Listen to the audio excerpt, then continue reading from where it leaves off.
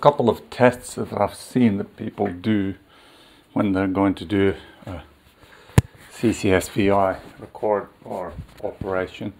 This is my for my sound, so I'll link it up with that video when I uh, get it done.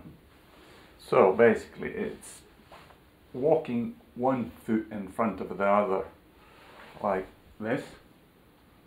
And now this is before I've had the operation done. This mirror here, I, at night I always am afraid I'll bump into it and break it. I've broken that painting there, but uh, not the mirror yet.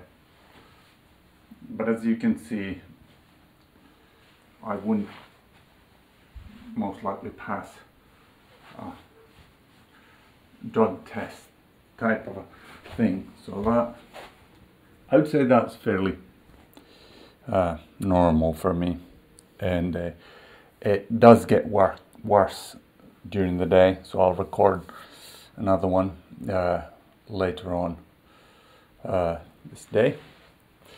Other tests that I've seen people do is standing with their legs crossed, uh, and then I don't have the space to spread my arms, closing their eyes and see if they, uh, what do you call it, fall over. So now my eyes are closed. I'm, but I can. Oh, spoke, spoke too soon. But yeah, I can I can stand. I'm not gonna completely fall over. Uh, what else? Lifting one's knees uh, is something that people have done. Oh, the right leg, I think it's fairly good. Uh, but then the left one, it only comes up to that much. And uh, what, what else I see? Some people do. They try and lift their whoop. That's what I'm afraid of. This way.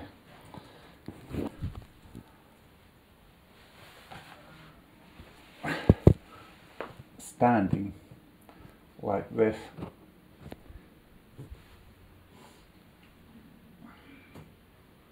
Which, at least standing on my left leg, um, I'm halfway able to do. But then lifting this left leg, it's a lot trickier.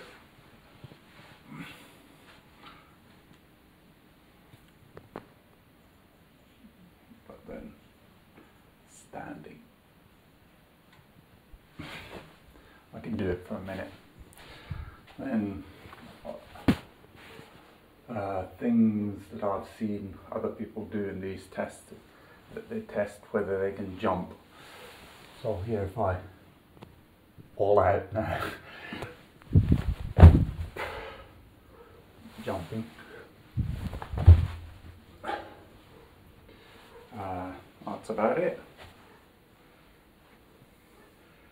And uh, what do you call it? I I'm fully aware that after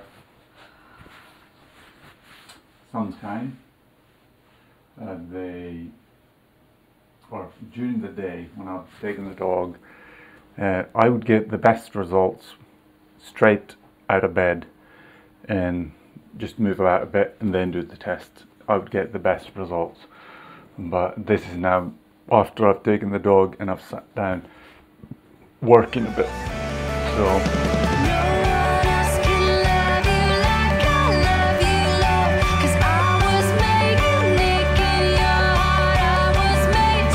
While since I've been at the airport. But look at this, I've never seen it. I mean, at normal times like this. Dear passenger, Everything's just this is an important health announcement. Please maintain a safe distance to others, ensure good hand and respiratory hygiene, and wear a And mask. even the Finnair lounge If you suspect you may have contracted And I the didn't coronavirus. I thought that to I'd the get something at the COVID-19 Health. Information Point between arrivals hall 2A and 2B.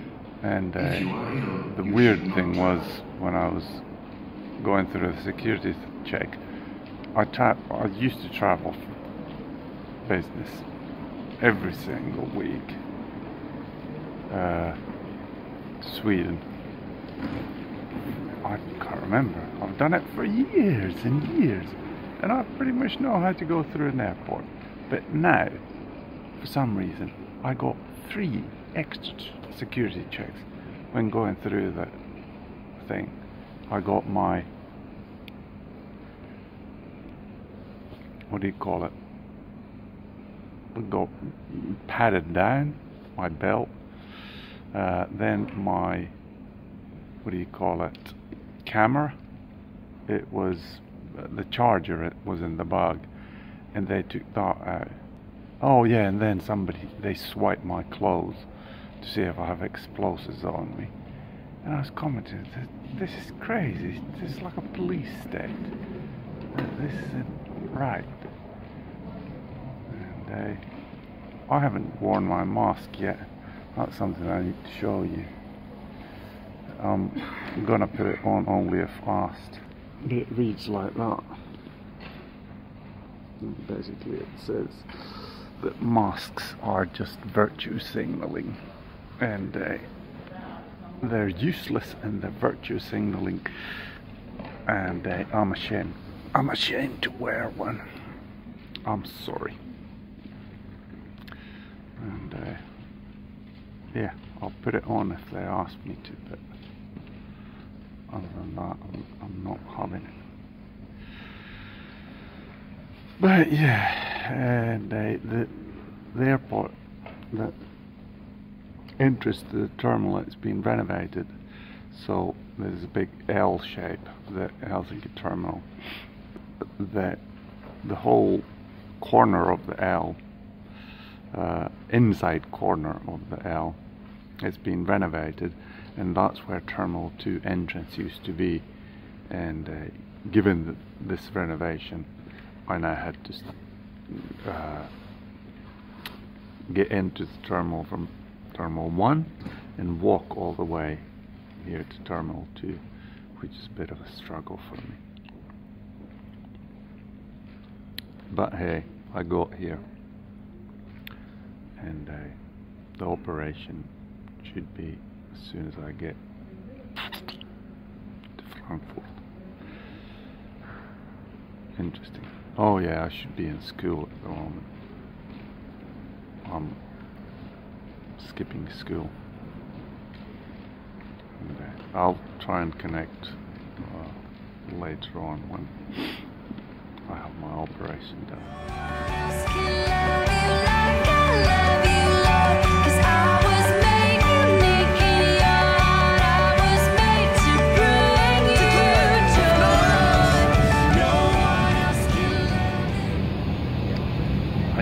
Sit like this for the whole trip. And uh, the whole idea of the mask is air coming out of here and my beard is air is coming down out of there. It's just ridiculous. But hey, I got onto the plane. It's one of these small ones. I think it's called an Embraer 190. So it's a two, two and two configuration. but yeah. And the papers that I presented to the at the gate. Oh man, they were looking at them for a long time. And uh, and they called their boss and asked whether I can go. Uh, okay. Well, I got you.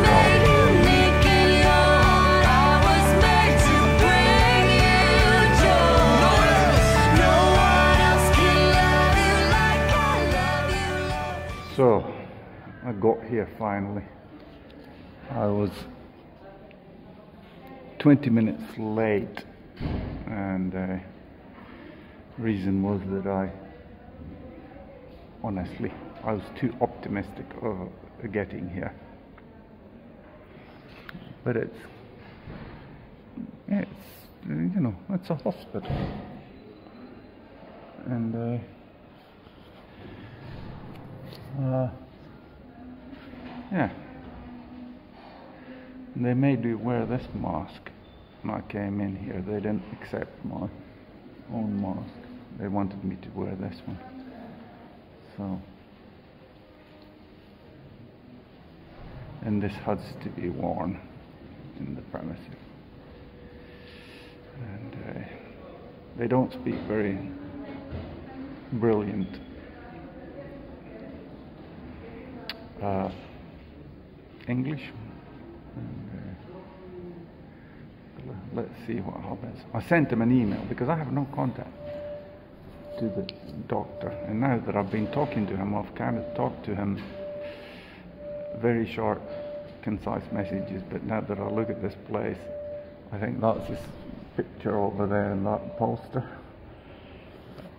Dr. Vogl, and uh, pretty much everybody, when I walked in, uh, they knew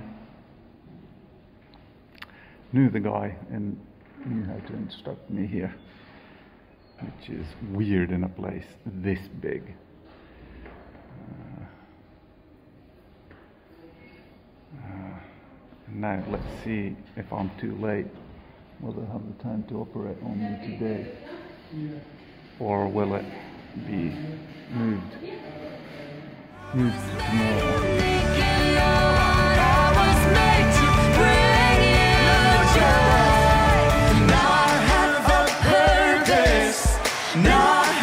Video of me going to Frankfurt and uh, because it's getting long I'll cut it short and uh, end this one here and create another video of the actual procedure and how that went. But anyway mm, initial thoughts yes there were positive results out of it but I'll go into those in more detail later on and I'll do my walking tests and all, all that stuff to actually see what came out of it. But anyway, I'll end this video because it's getting long and say that Jesus Christ is King.